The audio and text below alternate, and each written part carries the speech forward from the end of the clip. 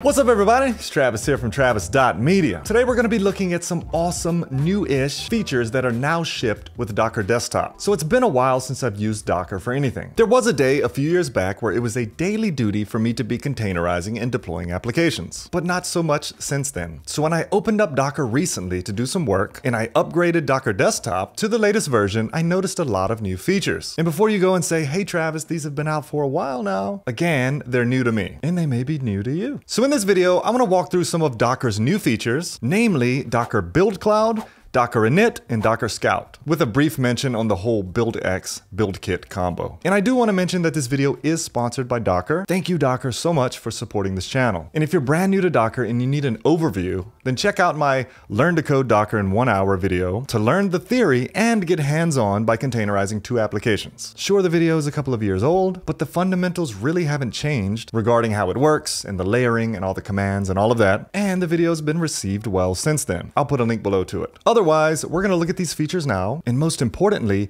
get hands-on to see them in action. With that being said, let's look at Docker Build Cloud first. So what is Docker Build Cloud? Well, it's a service that lets you build your container images faster, both locally and in your CI pipeline. The builds actually run on cloud infrastructure, no configuration required, and it uses a remote build cache, ensuring fast builds anywhere and for all of your team members. The problem Docker Build Cloud is trying to solve is primarily long build wait times. A study by Incredibuild, which is a company that this guy used to work at, the study showed that on average, developers lose one hour each day from waiting on these builds with impact on productivity and developer experience costing a small organization about $420,000 per year. Builds are taking an average of 20 minutes, with almost 25% of these respondents saying that it's actually greater than 30 minutes. And for CI builds, the average was 58 minutes waiting for builds to finish. Attempts to address this, based on the same study, with upgrading hardware and reducing codebase size just isn't sustainable. So what Docker found was that moving these builds to the cloud, to a cloud, instead of being local or on premises, resulted in build increases of 39x. That's huge. Moving this to the cloud gives us access to faster compute resources, multi-architecture builds, so both AMD and ARM builders, and a shared cache for you and your team. So developers can actually work on other tasks in parallel while waiting for the build to return. And Docker gives one example here of some customers who develop enterprise collaboration software.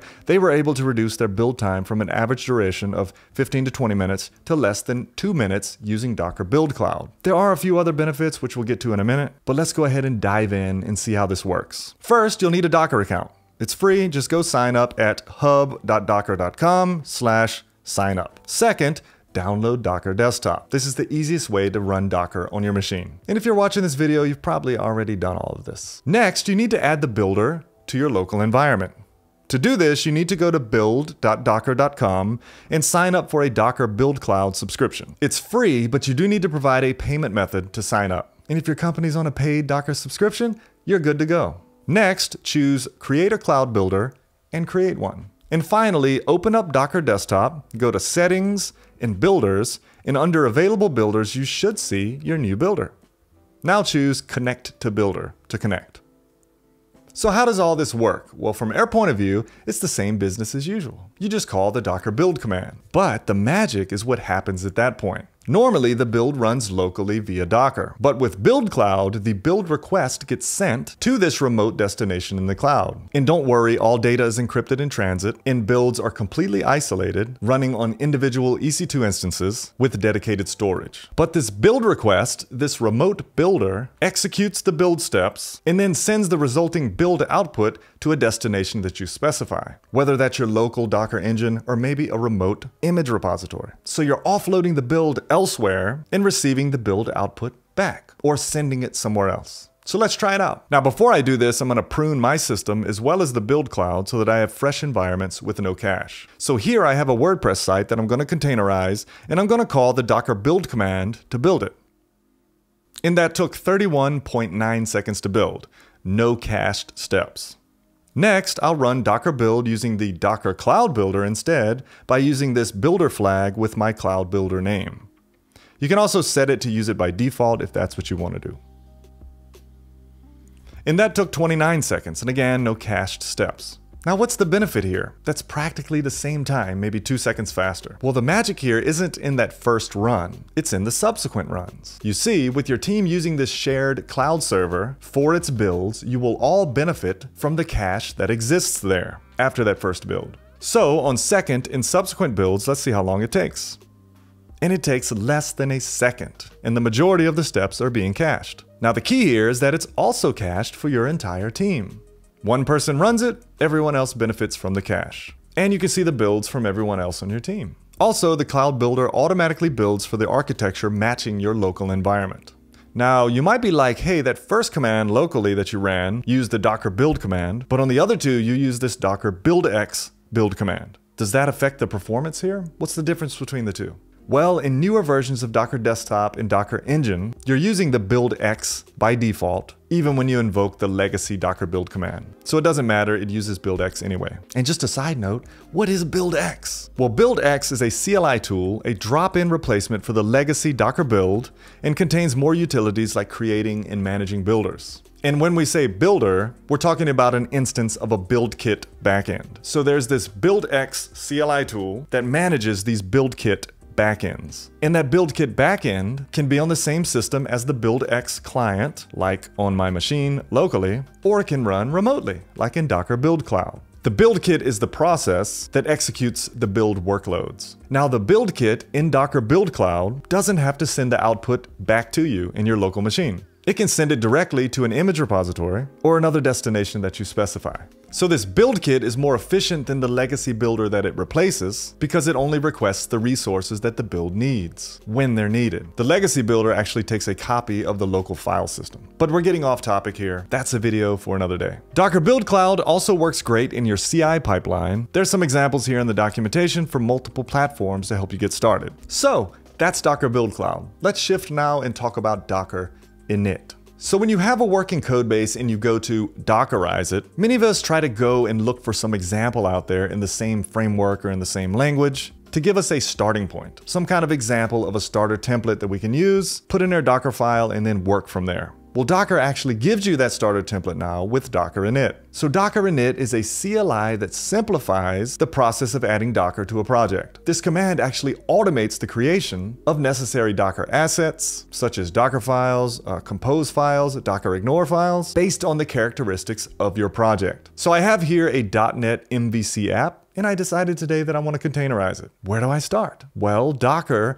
can take care of providing a working starting point for us we simply just run docker init and we'll get some prompts here. So it detected that I'm using ASP.NET Core, so I could select something else if not, but let me choose that. What do I want to call it? I'll leave it that. What version of .NET do you want to use? 8.0 is fine. And what port do you want to use to access your app? 8080. And look at this.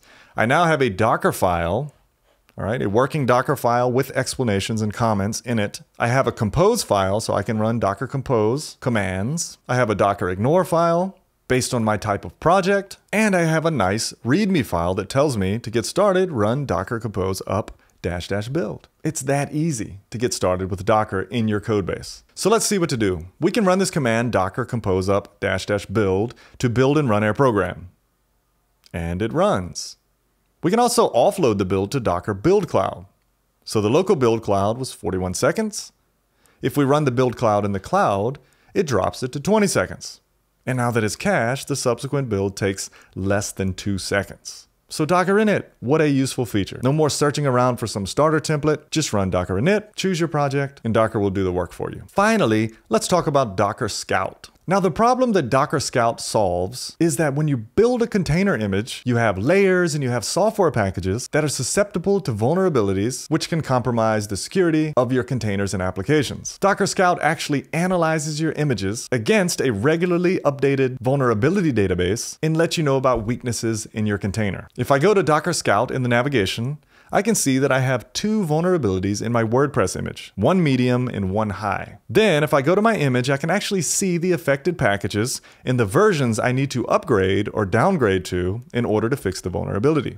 That's neat. It actually tells me my problem and how to fix it. And for all the terminal nerds out there, I can also check this with the Docker CLI. Now I can make the adjustment by switching to versions of the packages that it recommends, rebuild my image, and voila, I'm clean again. But hold on, the thing about Docker Scout is it isn't just about inspecting vulnerabilities based on specific packages. The bigger picture is that it supports policy evaluation within an organization. Policies are a set of customizable rules that let organizations track whether images are compliant with their supply chain requirements. So for that, there's a nifty dashboard for your organization at scout.docker.com where you can set policies and ultimately check whether your images are compliant for your supply chain requirements. All you do is head to your repository and enable Scout analysis on your images. After it has time to process the data, you'll have a full dashboard into the organizational compliance of your images. Each box here represents a policy showing your current compliance rating, and here below are the vulnerability trends for the environment over time. By default, Docker Scout gives you policies out the box like fixable critical and high vulnerabilities,